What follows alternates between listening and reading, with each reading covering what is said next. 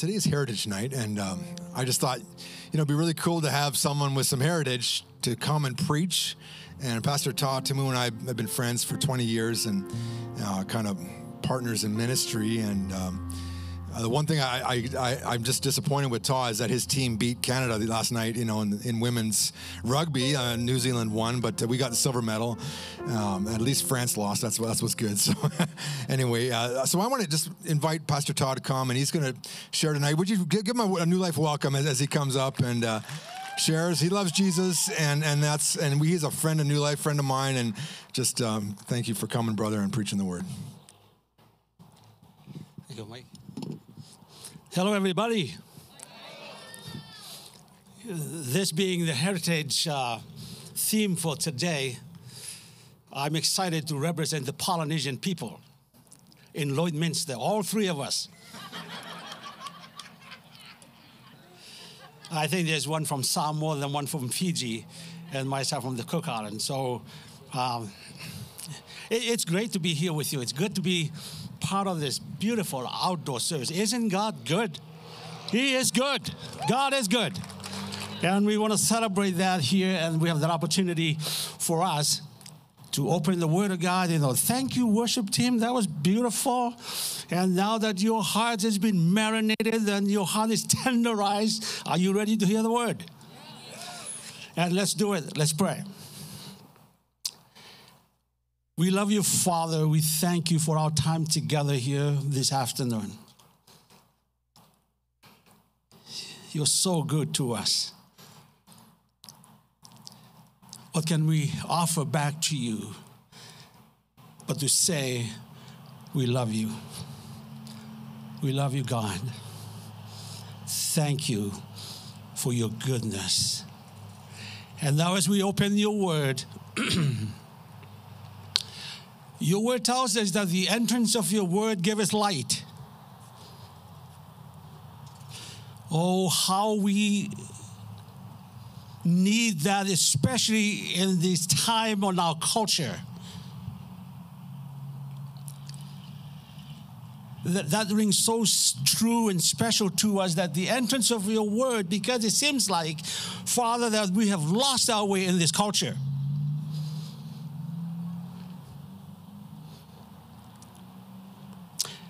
May your spirit provide wisdom that we may apply our hearts to what you have for us. We thank you in Jesus' name. Amen. It was in 1976, a missionary came to the Pacific Islands, all the way from Wetaskiwin, Alberta back in 19 anyways. Many of you were not born yet anyway so. Back in 1976 i remember the time when he came to preach under a whole bunch of coconut trees close to the beach. And he said and he challenged us here was this boy i've never heard the gospel preached and explained to me I grew up in a religious home. But I was sitting there, and I remember the last thing he said after he sat down. Here's what he said The most critical decision that you can ever make in your life is whether or not you are reconciled to the God who loves you.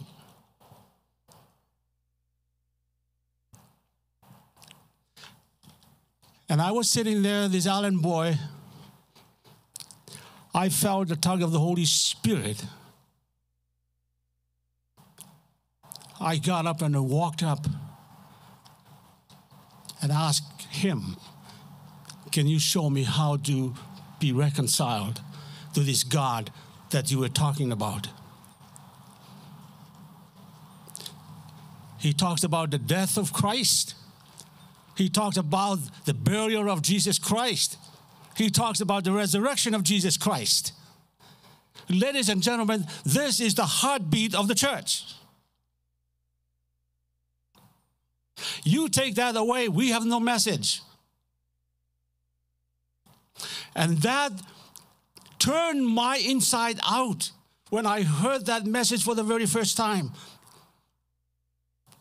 I walked up in 1976. I surrendered my life to Jesus Christ.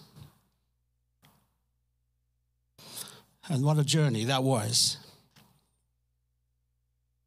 But I want to talk about this heartbeat of the church. Jesus died for the sins of this world.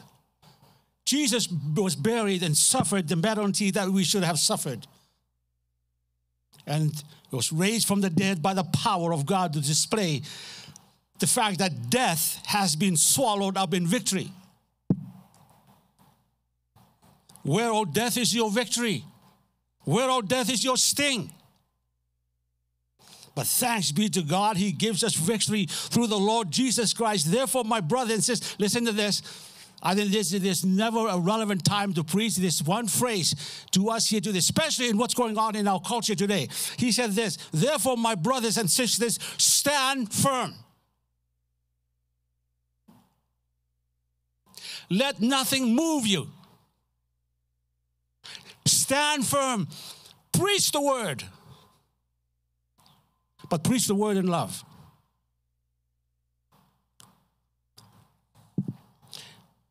I want to share a few verses from Ephesians chapter 2. In Ephesians chapter 2, verses 1 to 10, and I'm just going to go through that and then make some comments. Paul says that in chapter 2, verse 1, he said, As for you, Ephesians, you were dead He didn't say that you were bad. He said you were dead. That is the beginning of your story, Ephesians. That's the beginning of my story that I understand I was dead. I wasn't bad. He went on to say, As for you, you were dead in your transgressions and sins. That is what sin and transgressions does. They make you dead. And in verse 2, in which you used to live when you followed, oh, this is powerful, when you followed the ways of this world and of the ruler of the kingdom of the air, the spirit who is now at work in those who are disobedient. In other words, here's what he's saying to the Ephesians. Listen, look back. At one time, you allowed the influence and attitude and preferences of your society to dictate how you live your life. They were in a cultural bondage, embracing the values and expressing the vices of their society. If you have been following what's going on in our country and in our world today, we are living in a time of unprecedented cultural changes like we have never seen before. Our culture is becoming even more so at enmity with Christianity, in fact, even enmity with Christ. I have to turn my TV off while watching the opening ceremony of the Summer Olympic Games in Paris. Many of you have seen it the mockery, the blasphemy, the demonic, the desecration of God's name. We can no longer sit back. You see what Paul said in 1 Corinthians 15 My brothers and sisters, stand firm. Let nothing move you. This is the time.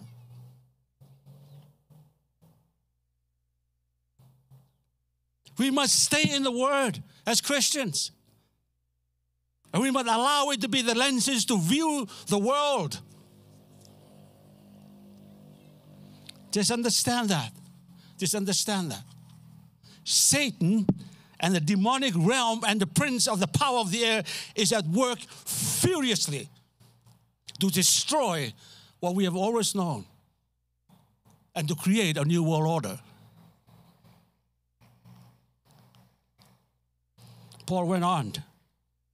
All of us also in verse 3, all of us who lived among them at one time, gratifying the cravings of our flesh, following its desires and thoughts, like the rest, we were by nature deserve of wrath.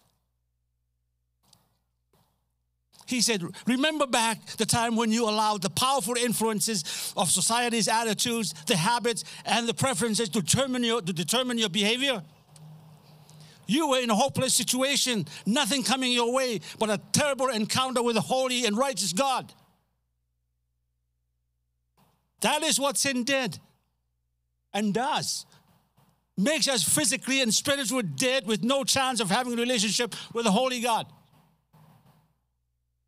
We have to be very clear about that before the following verses because good news is coming, ladies and gentlemen. You have heard in the last three verses, we're dead because of sin. But listen to verse 4. But, that's a good but.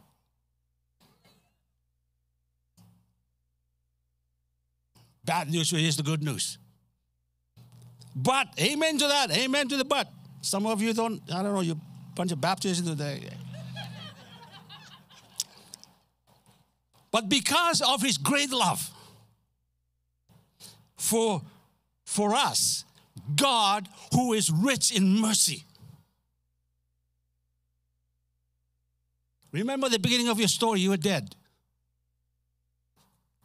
But because of his great love for us, God, oh, I love that, who is rich in mercy. This is powerful. God saw you as dead in your sins and objects of his wrath. And he said, Listen, I'm covering you with my love, I'm covering you with my mercy. And because of his love and mercy, look at verse 5. Oh, this is glorious. Look at verse 5. What did he do? He said, But because of his great love for us, God, who is rich in mercy, made us alive. He did not make us better, He made us alive. He did not improve us, He made us alive. He did not make us members of a church, He made us alive.